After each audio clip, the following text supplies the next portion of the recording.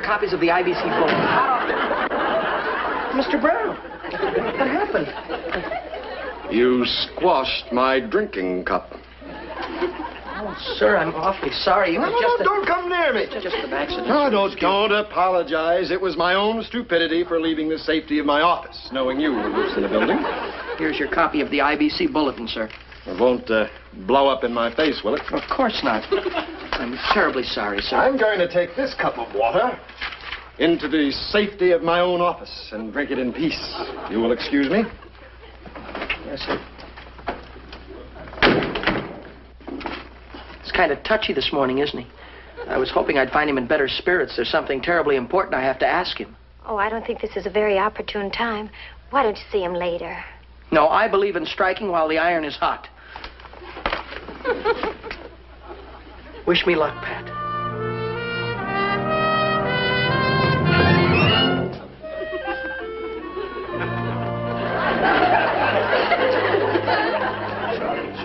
One thing I must say for you you're persistent.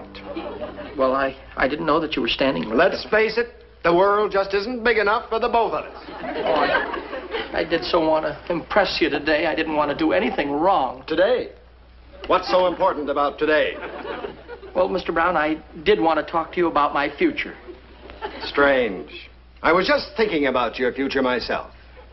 You were, sir? Yes, whether you have one here or not. Oh, I, I believe I have one here. Have you read the latest edition of the IBC Bulletin? I was just attempting to read it when suddenly I was hit by a tidal wave. Yes, well, as editor in chief of the paper, I believe I've done an awfully good job. Have you read my editorial? That's impossible. I'm afraid your editorial went out with the tide. Well, if I may, I'll, I'll try and read it to you, sir.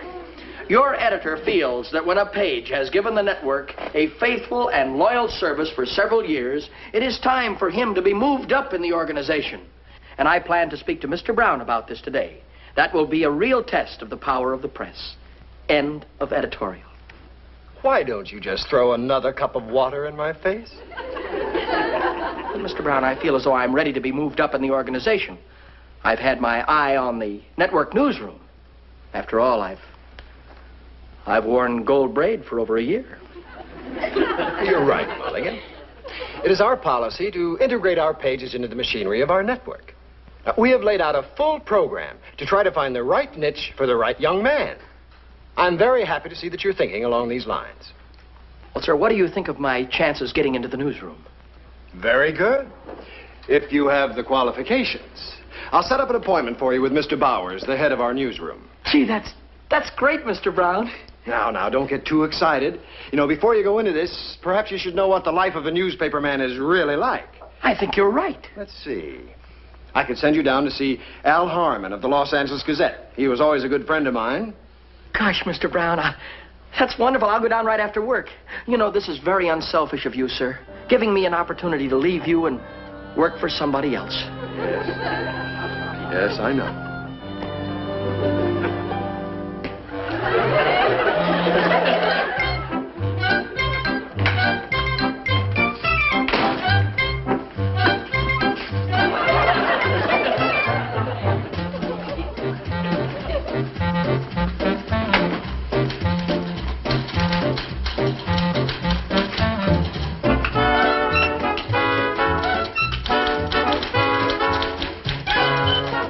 sir, but is this the news?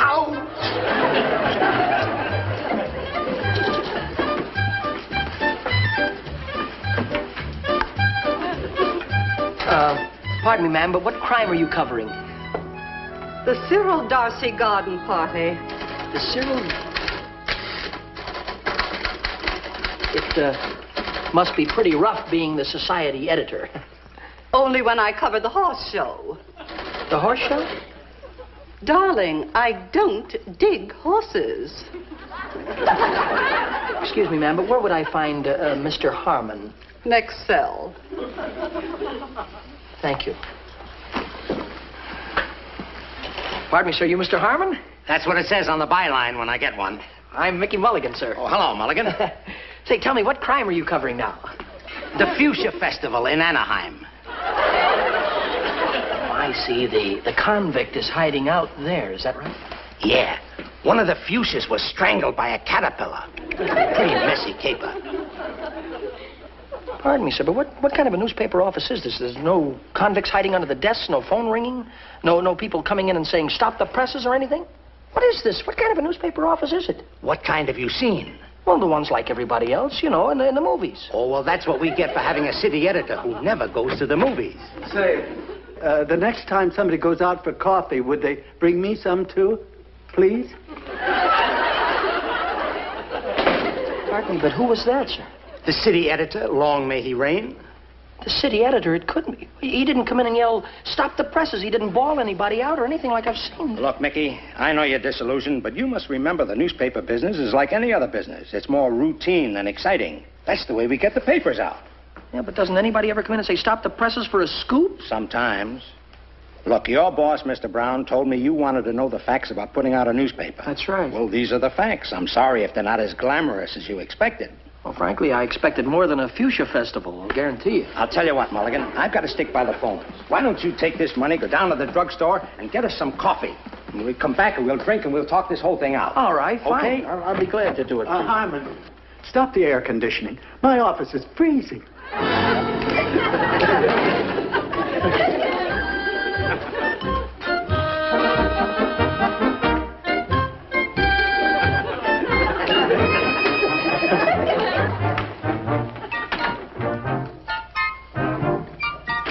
Say, Harmon, let's kill this story on the missing millionaire. It's old stuff. Well, the wire service handled it. They had a couple of tips that Wentworth was seen in the East. Yeah, and last week they had a tip he was seen boarding a bus in Omaha.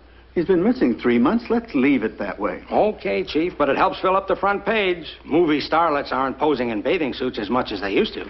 Well, we'll print the weather report in larger type and quote another flying saucer story. Say, Chief, have you got a minute? I got a lot of minutes. I've already sent the last edition in. Maggie, Mac, come here a minute. Charlie, you're in on this too. Now, Harmon, if you're going to suggest bridge, that's out.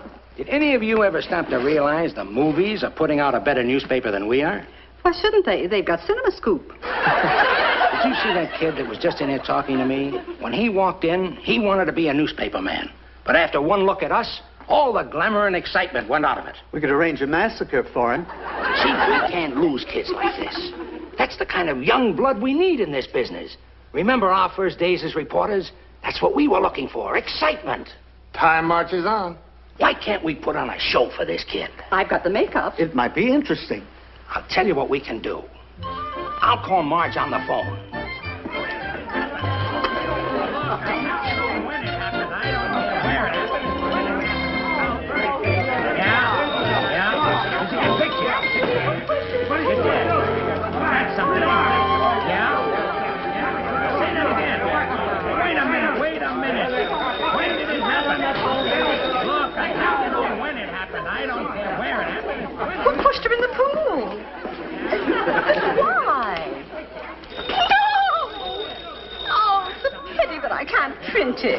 Minute, wait a minute. Me that again. When?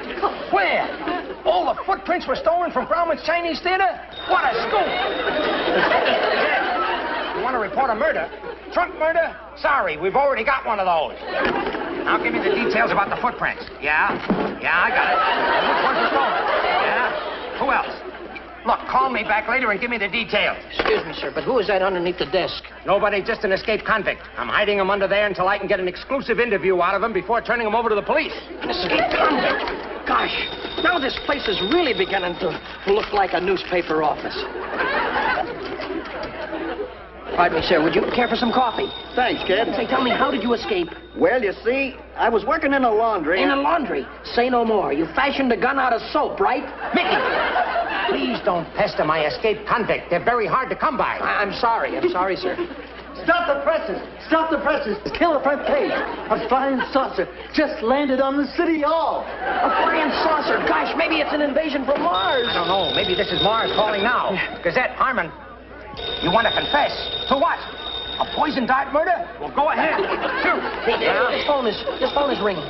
Shall I take it? Thank you. What time did it happen? Hello, Mulligan Gazette. Hello, hello. Oh. Hello, Mulligan Gazette. What? Hang on just a minute. I think I've got a confession. Now, what was that again? Slowly now. That's right. Give me the address, please, now. Ah? 327, 327 South Granite? Aha. I got it. Dining room, bedroom, and bath.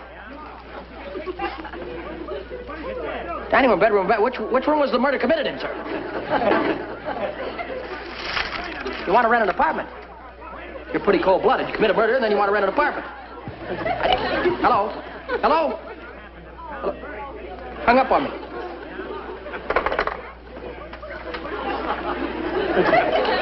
It? That phone call was nothing important, just wanted to phone him for uh, a want ad. And you let him get away? Mickey, do you really want to be a newspaper man? You bet I do, sir.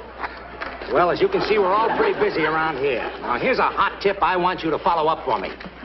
Oliver Wentworth, the missing millionaire. Yeah, we got a tip that he was seen boarding a bus in Omaha. Now, I want you to get right down to the bus depot and keep an eye open for him. Did the tip say he was going to arrive here? Well, if it was that simple, our city editor would handle it himself. Now, hop to it, Mulligan. And remember, a good reporter always gets his man. Yeah, yeah, always And gets Mickey, a... Yes. remember, the reporter's code. How, when, where. How, when, where?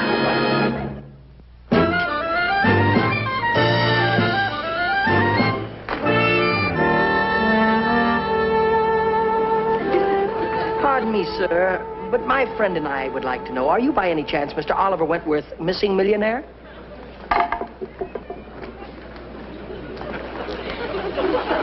I thought sure he was the one.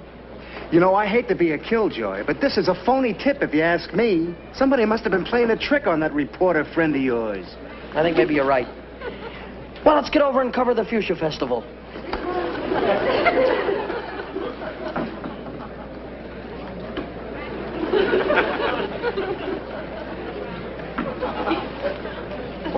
Excuse me, gentlemen. Uh, could you tell me where the phones are? But yeah, they're right around the corner there.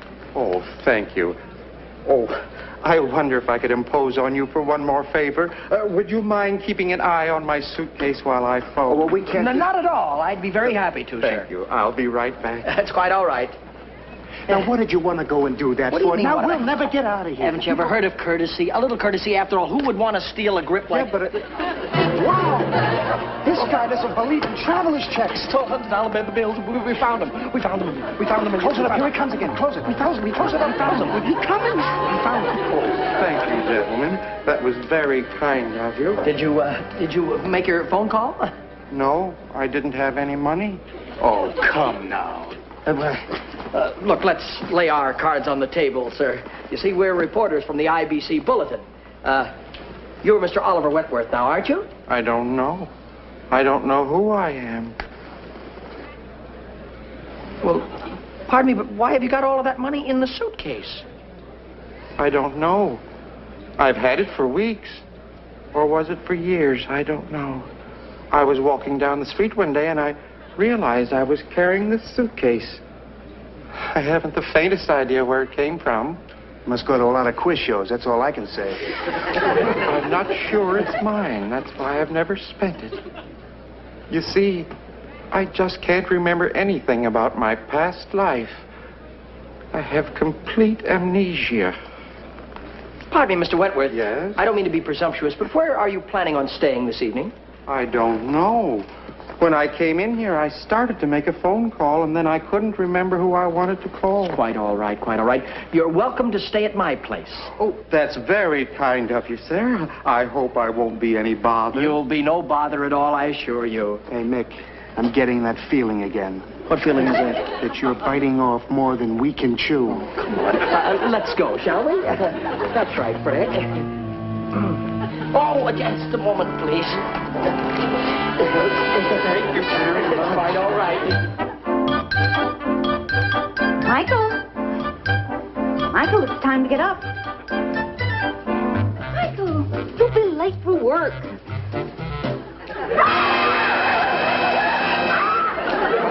It's, it's me, it's me. Who's that man? That's Mr. X. Uh, Mr. X, uh, this is my mother. How do you do? How do you do? What's he still in my father's pajamas. Well, but, but he couldn't wear what he had in his suitcase. Oh, well, this day didn't waste any time getting started, did it? Hurry into breakfast. I will.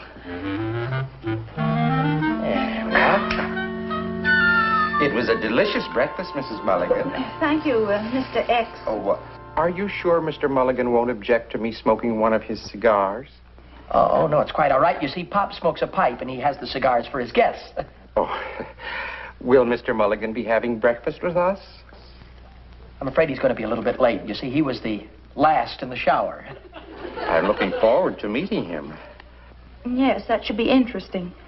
Oh, I must have left my glasses in your car, Mickey. Excuse Oh, me one I'll- moment. I'll get them for you, sir. No, I'll get them. You finish your breakfast, Mickey. Well, uh, Thank you.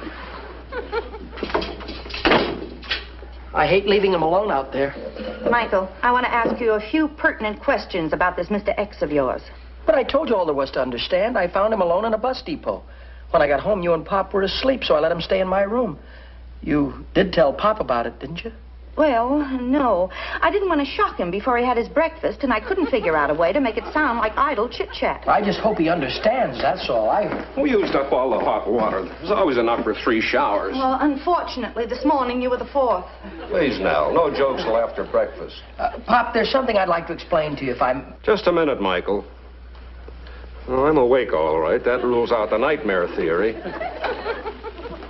Oh, you must be Mr. Mulligan. Good morning. All righty. What bill did we forget to pay? Uh, Pop, this is Mr. X.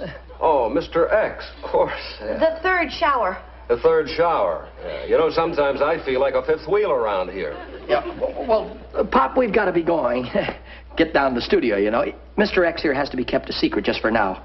You'll understand later when you read the special edition of the IBC Bulletin. Uh, goodbye, Mom. Goodbye, dear. Take care, Mr. X. Uh, thank you, Mr. and Mrs. Mulligan.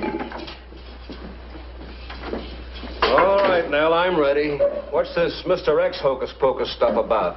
Well, Michael's being awfully mysterious about it all, but I think I figured out what it is. Mr. X is one of those secret contestants in an audience participation show down at the network, and Michael had to keep him hidden overnight until the show goes on the air.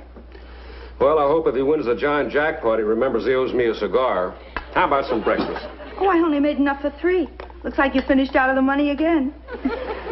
Coffee, sir? Thank you, Nell.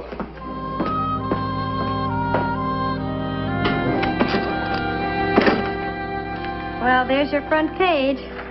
Boy, wait until all the New York papers see this. Hey, when am I going to meet this mysterious millionaire? It it won't be long, Pat. Freddie's got him on a tour through the studio right now. Say, would you mind taking over for me for a while? I want to get my scoop on the 10 o'clock news. Well, do you think you should? Don't you worry about a thing.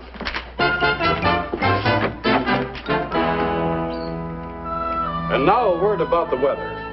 The forecast is that the sun will rise at 625 and the smog will rise at 633. That gives us exactly eight minutes to enjoy the sunshine. More news in a moment, but first, here's someone you all know telling you something you'll be glad to know. Hi there. I'm Mickey Rooney. Now for the local news. Scoop, scoop. Ladies and gentlemen, I have just been handed a late news bulletin. Millionaire Oliver Wentworth, who has been missing for three months, was found last night in a bus depot by two IBC pages, Mickey Mulligan and Freddie Devlin. When found, Wentworth was carrying a battered suitcase containing half a million dollars and was suffering from amnesia. I'll have full details on this on my evening broadcast. And now for the latest sports news. Mick, Mick, Oliver Wentworth gave me the slip. He's missing again. But you were supposed to watch him, Fred. Well, there were 18 people on that tour. All I've got is two eyes. Oh, if we can't produce Mr. Wentworth, then nobody will believe us. We. Oh, you, you still got his suitcase, though, huh? Yeah. Well, all we have to do is show him the half a million dollars, and they'll believe us. Yeah. Wait a minute, wait a minute. Hey, it's, it's empty. Yeah, he must have taken it with him. Oh, boy, now we really are in trouble. Yeah. Coast to coast.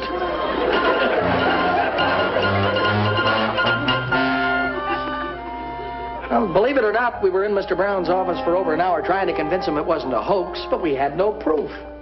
Nobody would believe us. And then when we talked to the reporters, why, when they got through with us, you'd have thought that Freddie and me, we'd committed the crime of the century. I hate to sound like a Monday morning quarterback, Michael, but you should have told me all about this as soon as you brought Mr. X home. That was Mr. Oliver Wentworth. If you say it was Oliver Wentworth, I believe you. That goes for me, too. But all your mother and I can testify to is that a certain Mr. X uh, slept in my pajamas, took my shower, and ate my breakfast. That's right, Michael. We were never introduced to a Mr. Wentworth. Just a mysterious Mr. X. Mr. Brown got orders from the brass to fire Freddie and me. Oh, Michael, they wouldn't. Oh, wouldn't they? We turn in our uniforms tomorrow morning. Just a minute. Nobody fires Joe Mulligan's son while I have anything to say about it.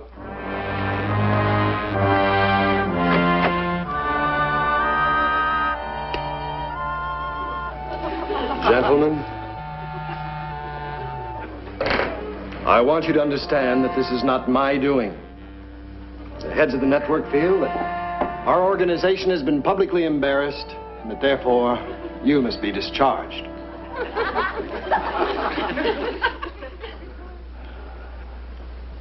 I'll turn in my insignia. Oh, I don't believe that's necessary. My aiguillette? Now, just a minute. This is not a court martial. Here's my pass key, sir. Yes, I'll give you my pass key and my parking pass, Mr. No, Brown. stop that, fellas. Let's forget the dramatics. You don't have to try to make me feel bad about you being fired. I feel bad enough already. Come in. Oh, Charles. Sorry I'm late. I got tied up with a feature story. Thank heavens you got here, Al. We've just been having an amateur production of the Caine Mutiny. Mickey, Freddie, I feel partly responsible for you fellas losing your jobs. After all, I sent you on that wild goose chase. That was no goose chase, sir. All right, all right. Anyway, I've arranged for you fellas to go to work for the Gazette. The Gazette? You mean after the way we messed up that big scoop, you still want us to become newspaper men? Why not? As my old city editor used to say, good newspaper men aren't born, they're driven to it. I suppose we'll have to start by covering the Fuchsia Festival. Not quite that high up. You'll start at the circulation department. And remember, no more imaginary millionaires.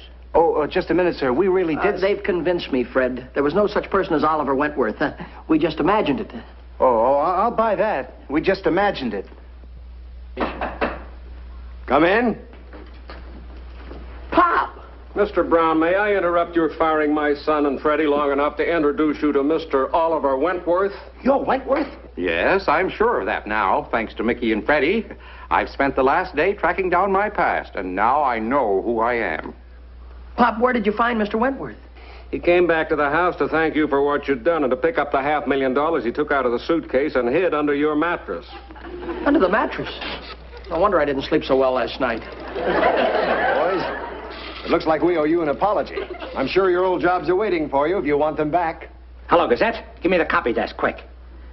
Mac, Harmon, stop the presses. The missing millionaire, Oliver Wentworth, has just shown up and substantiated the story of Mickey Mulligan and Freddie Devlin, who found him in the bus depot night before last. It was no hoax. And don't forget, the International Broadcasting Company got that scoop on the air first. You got that, Mac? Okay. Oh, Mac, I want the byline to read Mickey Mulligan and Freddie Devlin. To the tailors. To the tailors. Mickey Rooney will be back in just a moment. And now a word from next week's sponsor.